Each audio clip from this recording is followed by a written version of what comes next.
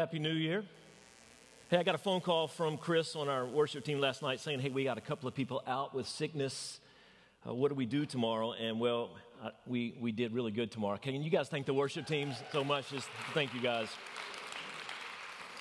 Just love Chris and all that you're doing and our, our worship team. And hey, I'm super excited to be able to start a new series with you guys today. And I wonder, uh, before we stand and greet some, someone and say hello to one another, I, I just wonder if you, like me, have had a challenge before in managing your calendar.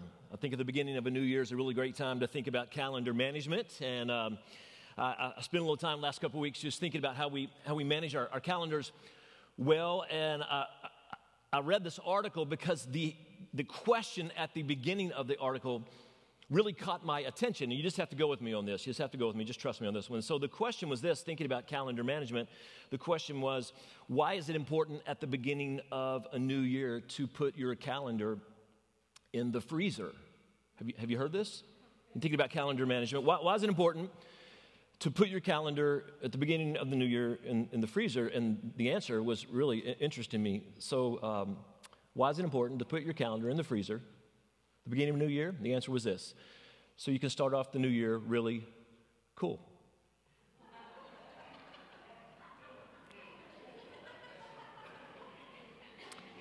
So I did some more research. And I researched this guy that actually wanted to do exactly this. And so he, he read that if you put your calendar in the freezer, you can start off the new year really cool. And he wanted to be cool because he would define himself as not being so cool. So he wanted a calendar. But unfortunately, uh, the previous year had been a really tough year financially for him. And so he couldn't afford a calendar. And so he made a really poor choice. He went down here to Target and he tried to steal a calendar. And unfortunately, he got caught. And you know what he got? He got 12 months.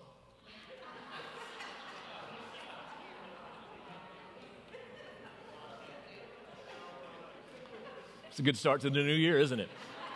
My jokes still aren't good, I know. We do have a new series, How Shall I Live? I'm really excited about this series to not talk about calendar management, but to talk about things that really matter and to talk about managing our life well based upon Scripture and allowing God to guide that. And if you are just joining us for the first time, good morning, welcome. If you're joining us via the stream for the first time, so glad you're with us. For all of you who are here, these are challenging times. And we know that so many of us are, are out. Some of you have been sick and you're back. We're glad you're back. But either way, boy, we got a, a, big year ahead of us, and I believe God's in it, and we just trust that He's going to lead us and protect us. And I'm so glad you're here. Will you stand up and say good morning to someone? My name's Jeffrey Smith, and I'm glad you're here. If you don't mind, why don't you greet someone from a little distance, unless you just really want to hug somebody, but say hello, share a little love, we'll get started.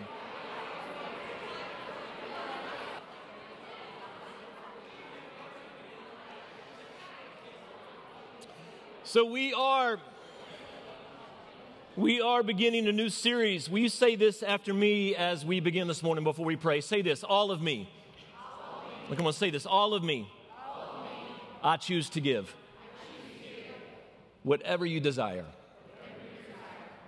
I choose to live. Will you bow your heads with me this morning? Father, that is our prayer that truly all of me, that I would choose to give to you. Whatever you desire in my life, that is how I choose to live. Lord, I pray that that's the prayer for each of us. As we begin a new year, it is such a fitting time to pause and reflect, not just on where we've been and what we've done, but where you desire to take us. Lord, we do not want to step forward without your lead, so we are praying that you lead us as we begin this new study of your word, and that you would reveal to each of us areas of our lives that need addressing and then that we would be willing to let you do what you desire. We give you this time, and all God's people said, Amen. Grab a seat. I want to ask you this question and want you to consider the question this morning. And the question is this Am I who I want to be? Will you consider that question this morning? You might even want to write that question. If you're following along in the, the app, the Donelson First app, you'll see that's the question there right at the beginning on that first page in the app there for you Am I who I want to be? I mean, just think about this question for a moment. When it comes to aspects of your life, maybe even consider how you lived in 2021. Can you say that you lived in a way that was honoring to God in a way that you desired. I want to put a few questions on the screen for you, and I just want you to think about them. Some will be more relevant to you maybe than others based upon your life and your history, but in your marriage, for those of you who are married, am I who I want to be? As a parent, a grandparent, I have to consider this one. Am I who I want to be at the office? Am I who I want to be? When I'm with my friends, am I who I want to be? When it comes to the things I think about, my thought process, the things I focus on, those things deep in the, the darkness of my secret life, am I who I want to be? In my dating life, for those of you who are dating or, or in that season of dating or considering dating, am I who I want to be? Here's one probably for all of us in my online life when it comes to my socials or what I view, what I spend time looking at and thinking about. Am I who I want to be? And then look at the screen, this one. In my relationship with my Creator, with God, am I who I want to be? Am I truly who I want to be? I, I can tell you this, guys I'm not, but I sure want to get there. And I don't just say that because it sounds like something I should say. It's, it's true. I'm, I'm not the person I want to be. I, I sure want to be the person I want to be. I want to be the person that God desires I be. And I wonder if you're fully honest with yourself if you come to the same conclusion this morning. That's why this series, How Shall I Live, I believe can be such a powerful one for us as we consider the new year and, and not calendar management, but we consider life management and who God is calling us to be, what He expects of us in our life. He is going to call us, I believe, to areas of life that need addressing and to give over areas of our lives that need addressing. We, we'd love to hand off to you guys little, little thoughts. We've done a family focus before and a thankful task and peaceful pursuit. Well, throughout this series, we're going to give you what we are just simply calling three words give to live. Everyone say, give to live. We want you to think about over this series. How long is this series going to be? I don't know how long this series is going to be. We'll see where the Lord takes us in this series. But I do know this to live as God desires, I have to be willing to give to God what He desires. Do you, do you agree with this statement? I mean, to really live as God desires, look at this. I have to be willing to give to God what he desires. And so each week we're gonna we're gonna give you a give to live. I've got one, actually two for you this morning, and it's a prayer. You'll find it on the app. Uh, you'll also find it, even if you don't follow the notes, inside the images on the app sometime this week. We put all of those as well there on the app in a couple of different places. But two prayers for you. If you're a writer, I encourage you to write these two prayers this morning. If not, I hope that you'll process and begin to allow God's Spirit just to take your mind in the direction of this give to live. And the first is this with the give to live. Number one, Lord, reveal to me how I shall live. I mean, what a, what, a, what a great step for us as we begin this new year. Number one, Lord, that you'll, you'll reveal to me how I shall live. Who are you calling me to be? And then, secondly, an equally important prayer for us Lord, will you empower me? We, I don't know we pray this enough. God convicts us, He he places things on our, on our, hearts or He puts people in our lives that, that point us in the right direction. He navigates us through a variety of ways through His Word or through music or through a commercial or a song we hear. And we're like, yeah, I need to be better there or I need to do better there. But I'm not so sure we take this next step of saying, Lord, will you empower me? Because without the empowerment of the Lord and His Holy Spirit, it's meaningless that we move forward. Amen, church? I mean, that prayer is so important. Lord, will you, will you empower me to just give you what you desire so that I will be who you desire I be. When it comes to goals and pride and, and bitterness and fear and apathy and the future and struggles over regret of the, of the past and lust and selfishness and anger. I mean, the list is really quite endless, is it not, church? I truly believe this. If you will make this give to live your priority here at the beginning of this new year, I truly believe that the Lord, He will reveal to you areas of your life that need addressing. And that if you will ask Him, I truly believe that He will empower you to do whatever is necessary to get those areas of your life in line with Him. And man, what a powerful, fun way to begin the new year. I'm so excited. First John chapter 1 is where we're going to be if you have your Bible with you uh, this morning. First John chapter 1, we're actually going to look at verses 1 through 10. Uh, and I, I got to show you a really fun, cool bracelet that I'm wearing. Uh, I've had this bracelet on, the first bracelet, for, for most of 2021. If you journeyed with us in 2021, you remember we had a lot of great series, teaching series last year. Uh, first was one of my favorites, but it was our first one.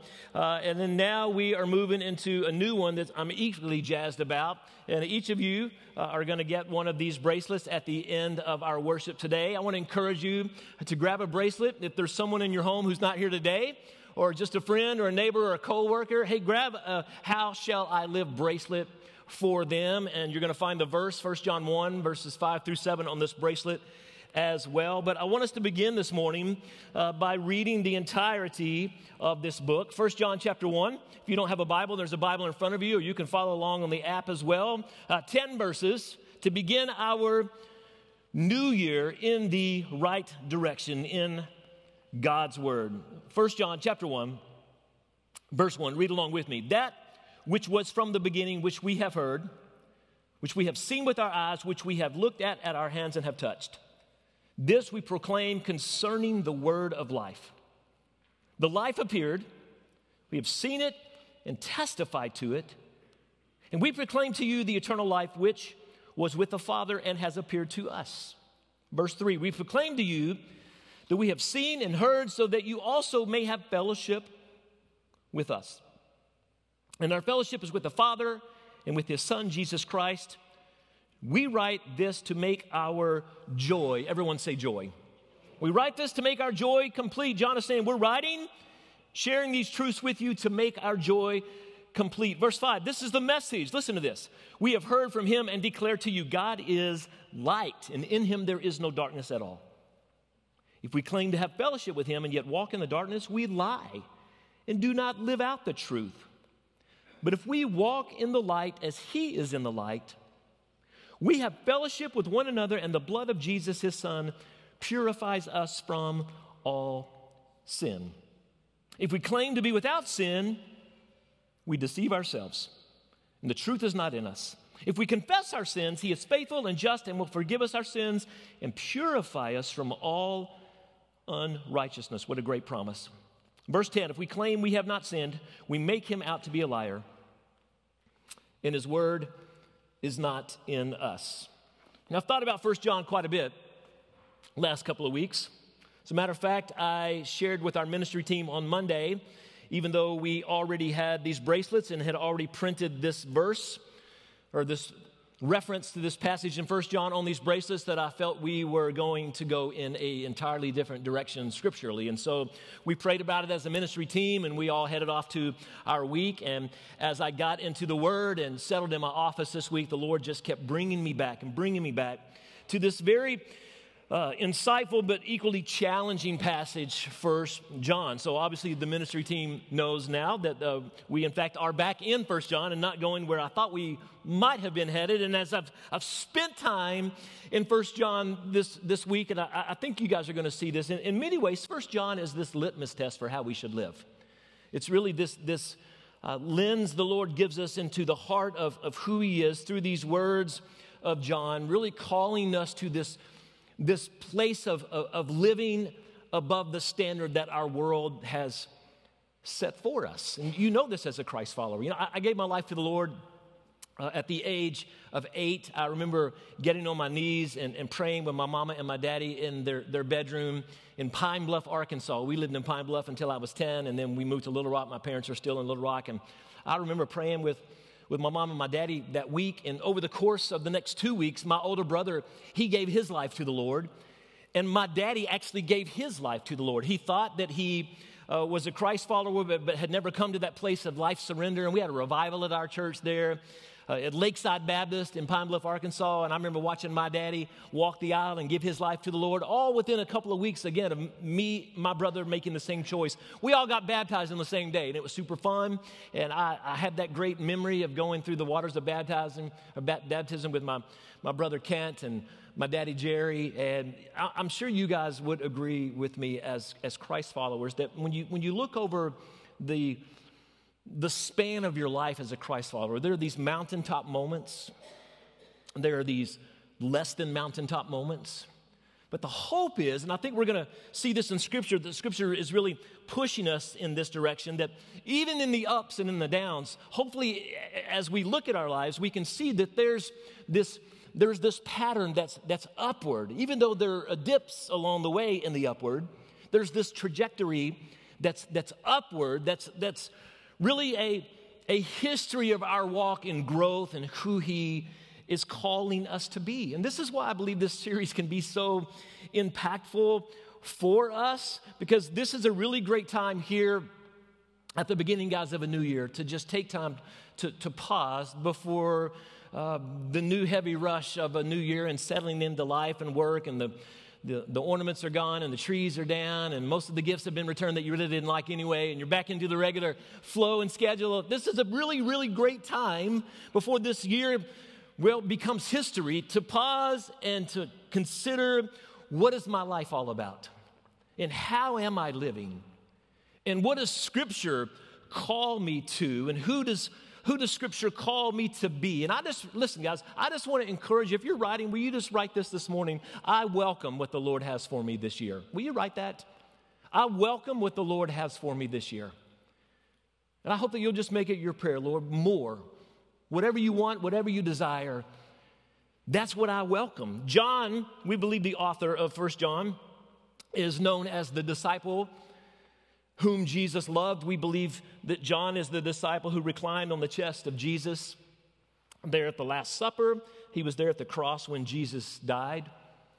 History would tell us that, that John departed Jerusalem before the destruction of the city by Rome around AD 67. We looked at a timeline a few weeks ago, just a, a brief timeline of, of just the historical context of all that, that happens in the Bible. We know that John later settled in the idolatrous city of, of Ephesus, which is now Western Turkey. And in this time of writing, you, you probably know this, and if not, it's going to make these words, I believe, come more alive for us. There's just a lot being said about who Jesus was. Was he a man? Was he God? Was, was he both? Was he a lie? There's much deception and teachings of, of untruth. There's also, look at 1 John chapter 4, there's also evil spirits, and we know this. We're not really going to pause long on this, but, uh, but John points to this, this evil spirit known as the Antichrist in this world. And John refers to this. Look at 1 John chapter 4, verse 2. John says, This is how you can recognize the Spirit of God. Every spirit that acknowledges Jesus Christ has come in the flesh from God, but every spirit that does not acknowledge Jesus is not from God. This is the spirit of the Antichrist, which you have heard is coming, and even now is already in the world. John's wanting us to know that there's great deception in this time, obviously in our time as well. And so he really wants us to understand this idea of truth. You may even want to write down the word truth. I'm going to give you some specific points here in just a moment. But John spends verses one through four really building his case as to, hey, guys, what I'm about to tell you and what we're about to study over the next X number of weeks, John wants us to know, hey, you can hang your hat on this. This is true. He wants you to know, I, I know this man. If, if John were here today, he would probably say, hey, I journeyed with this man. I did life with this man for three years. I watched these miracles unfold that are indescribable. I saw him speak and command spirits to leave bodies. I saw him bring people back to life. I saw him do things that, that John never in his wildest imagination could have imagined that he would ever see. He, he heard Jesus, he saw him, he touched him, he was there when he died along with Peter.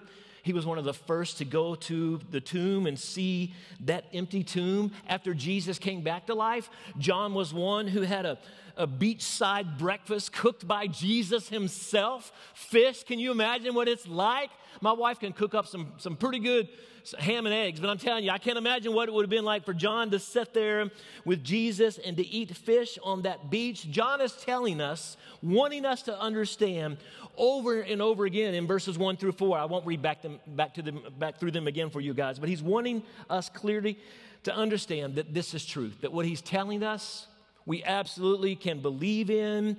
And I tell you what, is, what has been so clear to me as I've read this passage countless times over the last couple of weeks that there is this expectation set here in this passage by John on how we should live. So, how shall we live?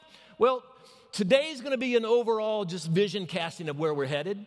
Each week, I believe, hereafter, just to kind of give you a heads up, uh, we're going to look at specific character qualities and attributes. I think we're going to the Old Testament. We'll see what happens over the next week as the Lord leads. But I believe we're going to, uh, whether old or new, we're going to park each week on a specific character quality, and you just don't want to miss it. So whether you're here or watching online, catch the archive. Let's kind of vision cast for a little bit today. How shall I live? Let me give you a couple of thoughts. Number one, great place for us to begin. Realize God is truth. Realize God is truth. John is building his case for how we should live by first proclaiming this idea of light. Look at verse 5. This is the message we have heard from him and declare to you that God is light. Everyone say light. It's a really important word for us. Say it. Everybody say light. God is light. God's use of the word light actually points us to this idea of God being truth. Now, we've, we've studied this word light before. You probably remember we studied Genesis 1. The first words, interestingly, that God speaks, we read in Genesis 1 where it says, God said, Let there be what?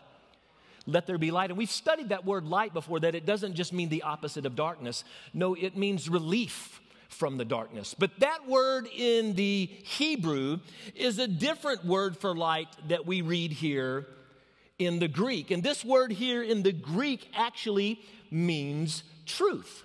So when John is telling us that God, again in verse 5, is light, he is telling us, in fact, that God is truth. We see him use this, this word in 1 John chapter 1, verse 6. If we claim to have fellowship with him and yet walk in the darkness, we lie and do not live out the truth. It's that same word we actually see for light. We also see it in verse 8 when he says, If we claim to be without sin, we deceive ourselves and the truth is not in us. And then we find John ending this letter. Look at 1 John chapter 5, uh, verse 20. I'll put it on the screen for you. John says this as he ends uh, the book of 1 John, or the letter of 1 John. We know also that the Son of God has come and has given us understanding so that we may know him who is true. And we are in him who is true by being in his son, Jesus Christ, he is the true God and eternal life. Guys, every time we see these words here in First John, it's the same Greek word that we see here John use in verse 5 God is light. He wants us to get it. He clearly wants us to understand this. I don't believe it's of any coincidence. He wants us to have this knowledge. As a matter of fact, John uses the word knowledge 15 times in this short book of five chapters. He wants us to clearly understand this is truth, this is the knowledge you should hold on to. God is light.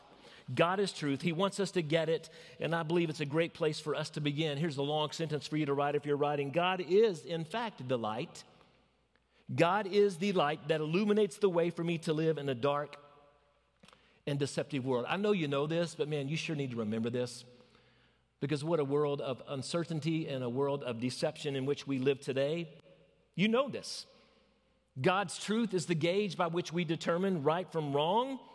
And I think when we get into this casual way of living as Christ followers, it can be very dangerous for us to, to look at the screen and to say, Well, Jeffrey, yeah, I know that. Give me something new. Well, the, the new is we need to be reminded of what it is that we already know. Because it is a deceptive world. It is, it is a world, as John reminds us in 1 John, of an enemy that wants to steal and kill and destroy, one who is deceptive, the, the, the, Antichrist. John spends a lot of time building this case because he wants us to clearly know that the knowledge of the world is silly. Man, we need to be reminded of this. There's much knowledge in our world pop culture and philosophers and scientists and world thinkers who try to discombobulate and mislead and often spin dysfunction that's not founded on the light and the truth of God's word and is delivered to us through this secularized lens of research and rationale and people much smarter than me. I tell you, I, I so know that I need to rely on John's word to lead me because I'm not smart enough to let myself lead me in a world that can so easily, easily mis, misguide me And as Christians, it's just a reminder for us. John, he, he understands this. Christians are being persecuted in this time, they're being misled, they're, they're scattered. Many of his friends have been martyred. And so life is, is, is, challenging. Their lives have been turned upside down. But in the midst of all this, guys, look at verse 4. Look what John writes in verse 4. He wants us to understand again why he is writing and sharing these words with us. We write this to make our joy complete. This is why historical context is always so important to us when we are studying God's word. It isn't just that he's speaking joy, he's wanting us to know in the midst of dysfunction and upheaval and a culture that's constantly working to, to mislead, there is a peace, there is a joy that can be found when we choose to hold on to, to the light of who Jesus is and to that truth. And I think this is so important, particularly in a time of, of hurt and, and, of, and of pain. I, I, preached a wedding uh, just a few months ago, uh, a family friend of ours, and sadly, uh, one of the members of that family uh, who was there, who I had just met for the first time uh, at this wedding, passed away from COVID. And it was just a, a shock for our family to, to hear this. And uh, our close family who live right around the, the block from us are, are beginning their new life together as a married couple. Dealing was actually uh, her brother who, who passed away. And I thought this week about just the sadness of, of, of life right now and, and, death. And I, I, I, talked to Miss, Miss Day. I believe Miss Day's here uh, somewhere. I hope it's okay for, for me to say this, Miss Day. We, we talked last week, and I've so enjoyed getting to know so many of you guys since I've been here a little over a year. Miss Day's just been super encouraging, but, but she stopped me last week. Many of you probably know that this is that one year anniversary of, of the loss of her husband. And Miss Day, I never, I never got to meet your husband, but I just know he was a wonderful man, and I know this is a difficult time for you and for, for anyone who's, who's dealing with loss. But I love what Miss Day said to me last week. And again, I didn't even know for sure that we were going to park here in First John. And she said, she said Jeffrey, I'm, I'm really, really sad, but I also have joy. I just think that's really powerful, Miss Day. And I think that's, that's God's word and, and truth coming alive right, in, right there in your own life. That in the midst of our personal hurts and in the midst of our, of our personal pain, and John is dealing with pain. Again, this, this world that's been turned upside down since Jesus died and came back to life and, and ascended back to heaven, and all of these lies that, that, are, that are spinning. Hey, I hope for every hurting heart today that you'll be reminded of this truth. Listen, when I live realizing God is truth, I experience joy that far outshines my pain. And I think Miss Day's life example is a testament to this. When I live realizing God is truth, I experience joy that far outshines my pain. How shall I live? Secondly, refuse to remain in the darkness. God is light, God is truth. So, secondly, we have to refuse to remain in the darkness. Verse 5 of 1 John this is the message we have heard from him and declare to you God is light. In him there is no darkness at all. And if we claim to have fellowship with him, and yet walk in the darkness. Look at this verse. Church, don't, don't blow past this verse. Look what it says. If we claim to have fellowship with him and yet walk in the darkness, we lie and we do not live out the truth. Let me put that in modern day English. If you call yourself a Christ follower, but you're feeding sin consistently in your life and making excuses for it, well, I deserve it, or she cheated on me, or why can't I have what someone else has? Or life's just been tough, or I, I, need a break, or whatever. Fill in the blank. We're all really good at rationalizing and making excuses for our sin. But look at what John says. If you claim to have fellowship, but yet you walk in the darkness, look at what he says. These aren't my words, these are his. We lie and we do not live out the truth. The Greek word here for darkness actually means shadiness. Did you know this? It means shadiness. It also means blinded to the truth. So what John is telling us here is if, if you say you live in the light, but you actually feed your sin or make excuses for your sin, you're just living a shady life. Every one of you probably have worked with someone who you would define as shady before. I hope I'm not that someone, but we, we've all got that person where we're like, man, that was just a shady deal. Or I, I paid for this and I didn't get what I wanted, and, and that, that was just, that was just a, a shady situation. That's what this word means here in the darkness a shady, blinded to the truth life. I was trying to come up with just this great analogy. I'm, I'm not sure this one works. It, it, worked for me when I was half asleep the other night and I woke up and I was thinking for some reason about being in a cave. I remember going spelunking years ago with students at a camp where I spoke and it was super scary and super scary, but super fun. And I'm so glad I did it. But imagine you're in a cave. Just go with me on this and you can't see anything. Crazy dark, no light. So you begin to reach around trying to find your way. And with your right hand, you reach and you, you feel something warm maybe a little, little, little furry, maybe uh, a little woolly. Maybe you're thinking it's a nice fur coat. Steven's got a fur coat. He wore it to work the other day. It looks really good on him. And so maybe you're thinking, maybe that's something really warm and, and furry and, and, and, inviting. And then with your left hand, you reach out and you feel something kind of long and, and hard and, and metal and, and cold. And you're thinking, I'm not so sure what that is. Maybe it's a cage. I don't know. I don't, I don't think I want to go there. So you're, you're frantic, you're, you're, you're cold, you're, you're freaked, it's dark. And so what do you do? You lunge at the feel good and you, you, you, you lunge at it with all that you've got. And you probably know where I'm going with this, only to realize moments later that you've awakened a sleeping giant of a bear who's quite hungry. And then you realize the thing that you reached to touch on your left was actually a shotgun and it would have helped you with the bear. But in your darkness, I don't know if this is working or not, but in your darkness, it's just, it's foolishness.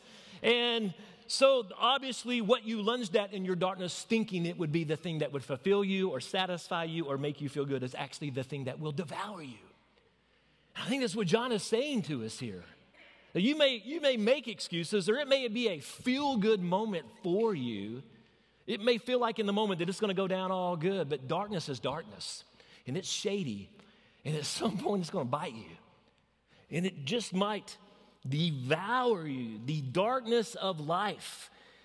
Wow, that's why he points this out to us. The darkness of life so misguides and misleads and eventually leads to ruin in our life. And John is reminding us, church, we can't be blinded to this, meaning you can't make excuses for it. You can't make excuses for it because when you do, you live a lie. And when you choose to embrace your darkness, it's only a matter of time before the darkness, well, leads you down a dark road of no return. John chapter 3, look at this, verse 19. John continues to write this, not in First John, but in the book of John. We see this, this pattern of him talking about, about light. This is John. Verse 19 of chapter 3, he says, This is the verdict. Light has come into the world, but people loved darkness instead of light because their deeds were evil.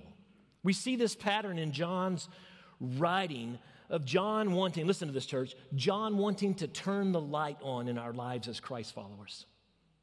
Not in a condemning way, but in a way to reveal to us the reality of our hearts, the reality of, of our shadiness. And it got me thinking about our church. And listen, I want, I want to be just really careful. and I want you to hear me when, when, when I say this, but if, if you want to be a part of a church that, that merely aims to, to only make you feel good, I mean, if you want to come to a church that, that just, just wants to make you feel good for who you are and how you live and how good your life can be, then Donelson First probably isn't the church for you.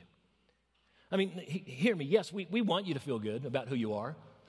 We want you to feel good about how your life can be and where you're headed in life, but of equal importance and maybe of more importance, we also want to encourage to bring light to those areas of darkness, even though it doesn't always feel good to do so and to shine the light on those areas of your life that, that need addressing, not to condemn you, but to bring you, listen, to bring you out of your own personal shadiness and bring you into the light.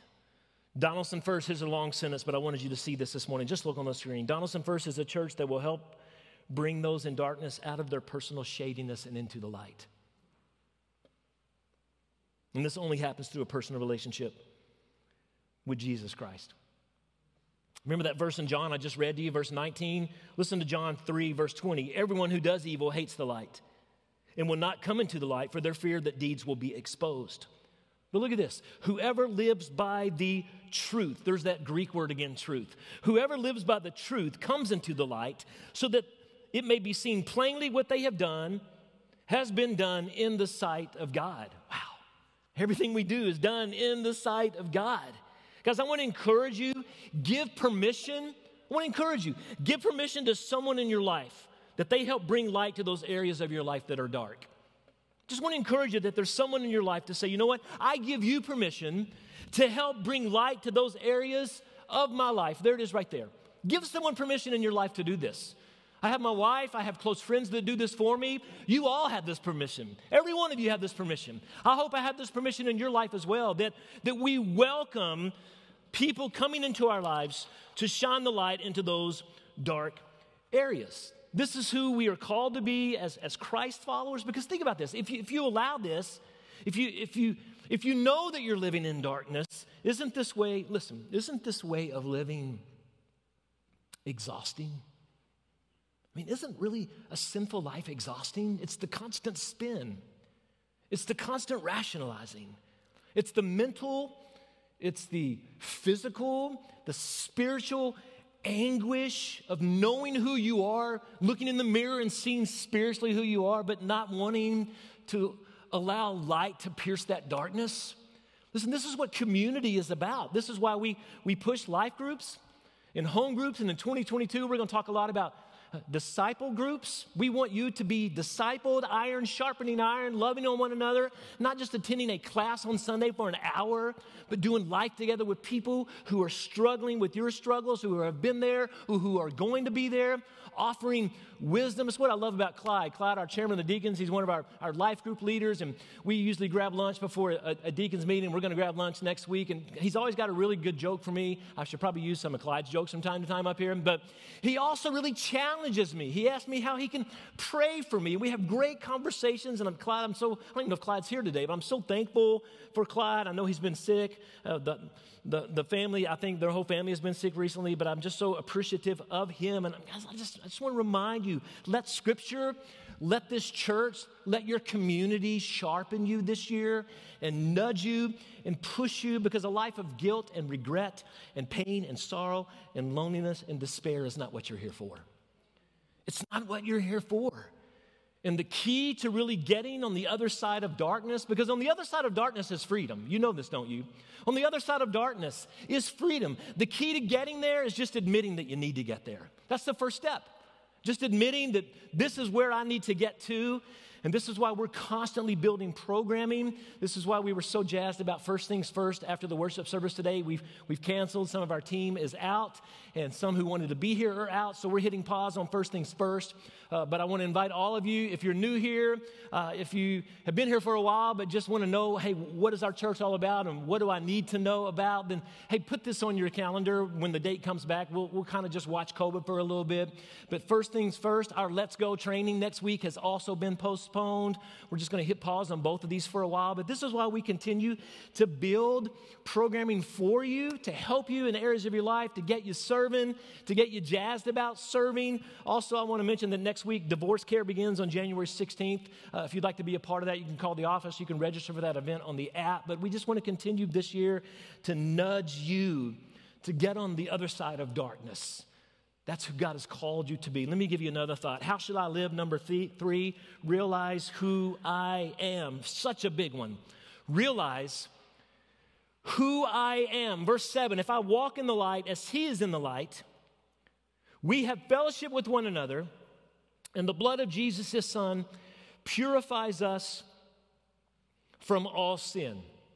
But verse 8 says, if we claim to be without sin, we deceive ourselves, and the truth is not in us. Number three, realize who I am. Who am I? Everyone should write this down because no one is exempt of this. You, I, we are sinners.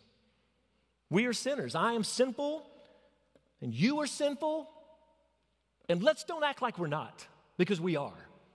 Every one of us is sinful. John confirms we are all sinners, that we are not perfect, but that we are in need of addressing our sin. We're going to see that in just a moment as we end. Because look, the claim of sinlessness. Look at verse 8. The claim of sinlessness, number one, is self deception. Do you see this? Self deception. If we claim to be without sin, we deceive ourselves. So to claim you don't have sin, Scripture says you are deceiving yourselves. And it doesn't end there, does it? No, look at verse 10. The claim of sinlessness isn't just self deception, but it's also, get ready for this one, church, blasphemy. Verse 10 If we claim we have not sinned, we make him, Jesus, we make him out to be a liar. If you say you are sinless, then you don't know who you are because you are sinful. We are all fallen.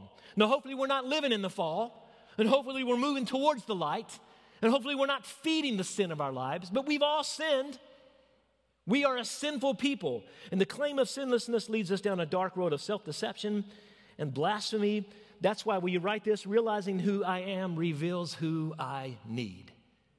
Realizing who I am reveals who I need. When I realize I'm a sinner, I realize that, that I need God in my life. I see my life for, for what it truly is. I, I had someone recently tell me they, they were a diabetic, and before she was a diabetic, she said, You know, Jeffrey, my, my life was really challenged. She said, It's still challenged now. But she said, before I knew I was a diabetic and I, I had these, these challenges with my body and these ups and downs and, and, and mood swings. And she said, now, now that I know, I'm still having to deal with my diabetes. But she says, my body is, is differently now. And I even wrote this down. She says, now that I know I have diabetes, I've actually become healthier, I feel better, and I live a more productive life. Because she saw that area of her life that needed addressing. And it's still there. She still has to continue to address it. But she sees herself as, as, she, as she is, how similar this is to our walk with the Lord. That once you realize who you are, the dark areas of your life can then be addressed. And you can take the steps in addressing these. This is what this study is going to be all about for us. Because once, listen, guys, once you see yourself as a sinner, you realize how desperate you are to need the, the freedom that can only be found in Jesus Christ. You realize how desperate you are to be set free, to be set free from your sins. Here's a two sentence write. If you're writing again with us today, Jesus is the light. I really like this. Jesus is the light that illuminates me to who I am so that I can become who he has made me to be. Jesus is the light that illuminates me to who I am so that I can become who he has made me to be. I know that's a long sentence. Here's a follow up sentence to that one He is the only one who can deliver me from my darkness. Period. He's the only one who can. He's the light that illuminates me to who I am so that I can become who He has made me to be. And listen, He is the only one who can deliver me from my darkness. There ain't no self help book, no New York Times bestseller, no four part study, no amazing workout. There's nothing that can deliver me from my darkness other than Jesus. Now, there may be attributes to this, and there may be people that come along, and there may be studies and books that help, but it begins with the light of Jesus. And guys, I hope you welcome this process this year. That's why step number four how shall I live is so important. If you're writing this morning, number one, repent over what I've done. It's not the fun one of the study, but it's an important one before we move forward. Repent from what I've done. 1 John 1, verse 9 says, If we confess our sins, he is faithful and just and will forgive our sins and purify us from all. Everybody say all. Purify us from all unrighteousness. Knowing who I am isn't enough. Knowing who I am can begin the journey to repent over what I've done and can lead me to who He has called me to be. Hey, here's a great definition of the word repent to help us. You know what it means, but let me just remind you and nudge you a little bit. Repent means the expression, the expression of sincere regret or remorse over wrongdoing. It's an expression. It's not just knowledge, it's an action. To repent is action, it's an expression of sincere regret over remorse and wrongdoing. And when you do this, here's what's super cool, guys. When you do this, two things happen when I repent. Number one, I see God for who He is, faithful and just. I see Him for who He is. When, when I repent, I see that God is faithful and just because it says here, listen to it again, He is faithful and He is just and He will forgive me. So when I repent, two things happen. Number one, I see God for who He is. He's faithful and just. And number two, I receive what God does. Look at what he does. Look at what he does. He offers a purification through his forgiveness. Who is he? He is a faithful and just God. And what does He do? He forgives and he purifies. Listen, listen to these two verses. This is Colossians 1, verse 13 says, For he has rescued us from the dominion of darkness and brought us into the kingdom of the Son he loves, in whom we have redemption for the forgiveness of our sins. Isn't that good? Hebrews 10 says this their sins and lawless acts, look what it says I will remember no more. This is a really important one. I'll give you one passage and we'll finish, or one, one point. But look at this, guys. I, I need to pause here for a moment because I thought about this verse this week. Look, look what, sin, what it says about our sins. Sins and lawless acts, when we repent, I will remember no more. Now, I struggle with this passage because I can stand right before you guys right now and I can think of foolish things I've done in my past that I regret. And I've repented of these things. I read this scripture that says, I will remember no more. God, He, he forgets my sin. Because scripture tells us as a matter of fact, he separates them as far as the east is from the west, but yet, in my mind, it's still there. You know what I'm talking about? Are you with me? I think we, have all been there. We're probably, if you're willing to admit, we all have this, this log of our past over things that we remember, and sometimes they, they haunt us. And honestly, many of the conversations I have with, with, with people in life and here at church, and through my years of ministry have, have really been this struggle of hey I, I, I know where i've been and what i've done and i've repented but it's still there and it, it hurts me and it haunts me. And so, so how do we do how do we deal with this? It's probably an, an entirely new, new study for us but guys i think the idea listen of, of walking in the light is critical here. Because listen the more the more that you spend time with god the more you begin to process things the way he does the more that you spend time in His Word, the more you begin to see you as He does. And it doesn't mean that there's this magical button you push and you just forget, because that's probably almost impossible. But I believe it does mean this that when it comes to your struggles, rather than looking at them with regret, you look at them with thankfulness for forgiveness. Rather than focusing on where you've been, you're so thankful for where He's taking you. Rather than living in a life of, of guilt, you focus on His goodness. And you're so in gratitude of, of who He is and how He's redeemed and remade and reborn you. This is why, listen, fellowship is so important. Look at verse 7, 1 John chapter 1, verse 7. Look at what it says. If we walk in the light as He is in the light, look at what it says. We have fellowship with one another. You see, when our desire is to be out of the darkness and into the light, then we, we find strength and encouragement and fellowship in one another. And in those moments of regret and guilt, it's a phone call, it's a quick text. Hey, pray for me. I'm struggling with that thing I talked to you about. And we have freedom. Listen, church, we have freedom in our life groups and in our small groups rather than sitting there quietly thinking, I'm not going to speak because I don't want them to know this about me. No, instead, we allow God's word to, to, to penetrate those areas of our lives that need addressing, and we're willing to talk about them because, listen, the more we talk, it feels better. And most likely, there's someone in the room who needs to hear us talk because they need to begin talking too. And so we begin to feed one another and we encourage one another. And that repentant process of living in the light, what does it do? Look at what it says again in verse 7 we have fellowship know what that word fellowship means? It means encouragement, it means unity, it means undivided brotherhood. We have that with one another. Oh my word, how should I live? So much that we're going to unpack through this story, through this, this study in First John, and wherever the Lord's going to take us in the Old Testament, with whoever we're going to walk and look through. I know what we're going to see over and over and over again is this call for each of us to examine our lives. And so the last point I give you this morning is just one word, number five hit repeat. Hit repeat. Everything that we talked about today, the key to this, to this process of living in joy and finding this fellowship is about hitting repeat on the first four points I've given you. I'm not even going to walk back through them right now. I know we're out of time already.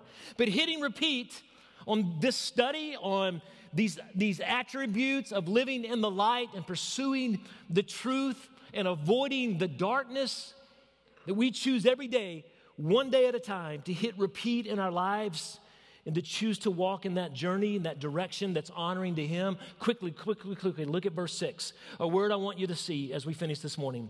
If we claim two words, it's actually one word, but it's mentioned twice. If we claim to have fellowship with Him and yet walk in the darkness, we lie and do not live out the truth. But look at verse 7. But if we walk in the light as He is in the light, we have fellowship with one another. Do you see the word that's mentioned twice? It's the word what? It's the word walk. Will you write this word down this morning? It's the word walk. I think about my relationship with, with Amy and my walk with her, our 28 years of, of marriage, and my desire to honor her and respect her and, and love her. She would tell you that there have been many times when my walk has just simply been in the wrong direction. And I've said stupid things and I've done stupid things and I've made smarty comments and I haven't offered her grace when she's made a smarty comment. But hopefully, overall, in my walk with Amy, there's this trajectory that's moving upward. And though we fail each other and don't always get it right for one another, it's our desire to walk in a manner that honors each other. And that's who the Lord's calling us to be here. Because listen, walking is not about perfection, it's about purification. It's about one day at a time, stripping away the old and being covered in the new. That's how I am called to live. Guys, this is going to be a great journey for us. Will you bow your heads with me this morning? Walking in the light. It's not about perfection, it's about purification. I hope that you will welcome this journey I want to take you back to the give to live just with your head bowed and your eyes closed. Those two prayers that I gave you as we began this morning. The first is this Lord, reveal to me how I shall live. Will you make that your prayer right now, church? Reveal to me how I shall live. In my marriage, in my private life, in my online life, in my career, in my kids and my grandkids. Reveal to me how you want me to live, Lord. Imagine if you got serious about making that your prayer every day this year, what the Lord would reveal to you. And then, secondly, Lord, empower me to give you what you desire. Will you make that your prayer right now, church? Just, Lord, would, would you just empower me? You would reveal to me areas of my life that need addressing. And then you'll just empower me to do what you've called me to do. Father, that is our prayer. That you would lead us. You would reveal the darkness, the shadiness of our lives, that you would bring light to those areas. That you would give us fellowship and joy as you empower us to do what you're calling us to do. For your glory, we ask this in your name. Amen. Will you guys stand with us?